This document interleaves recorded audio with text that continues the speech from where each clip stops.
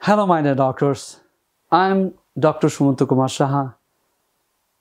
As a course coordinator and chairman of SS Academy, running the MRCP UK Part 1, MRCP UK Part 2 written, and the PACES online courses.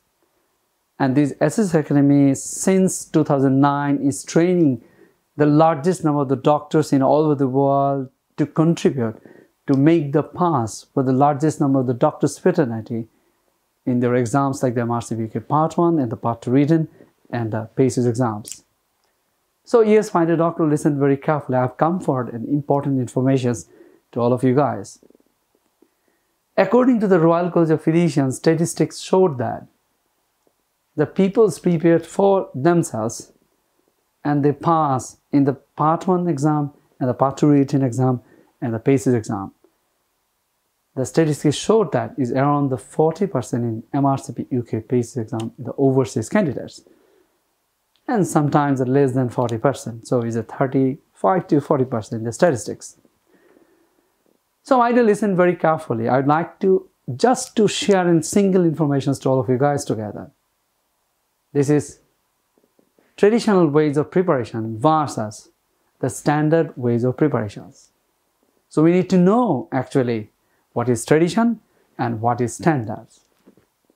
The tradition is just to go through the question banks.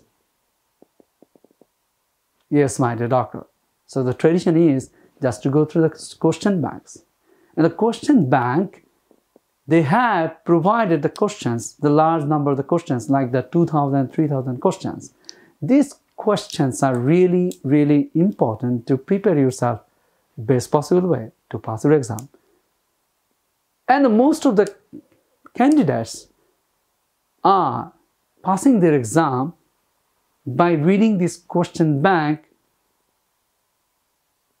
and the statistics is only 40% means out of 100 candidates is a 40 candidates is passing just by reading the question bank.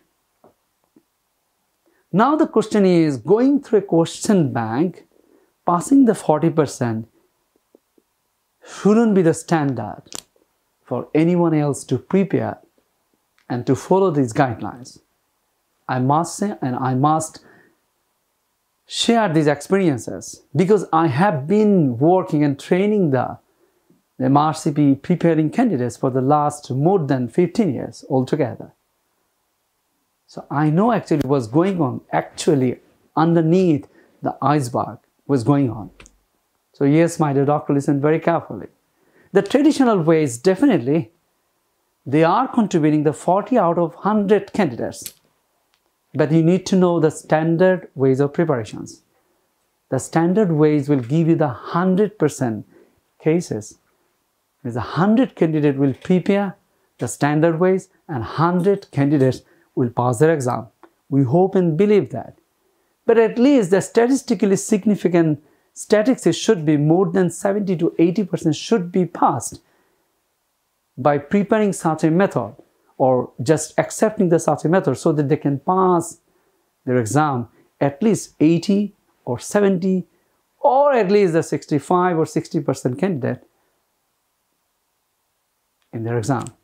So what I'm saying, my dear, that you need to know the standard ways of preparation. Standard ways means that you need to train yourself under such a mentor who is really trained enough and who is really experienced enough to train the peoples for the exam like the RCP UK Part 1 for the Part 2 reading and the clinical exams like the PACES. So the standards means definitely to train yourself under a trained mentor, under a that mentor really is giving the best teachings to the students. So this is such a medical science that we are really experienced in our undergraduate life. We are training by our mentors. So yes, my dear doctor, the standard ways means that you need to train yourself under the mentor, the trained mentor. So yes, if you have the chances to get to train yourself under the mentor, to prepare yourself for the MRCP UK Part 1, then the Part 2 written, then the PACES exam, that is really the standard ways and I hope and believe each and every candidate will have the 100% chances to pass their exam in their first attempt. So what I say that the traditional ways versus the standard ways. So now this is your choice that whether you, you'll accept the traditional ways or you'll accept the standard ways. So yes, my dear doctor, now you can choose the what ways that you need to choose, you need to go for.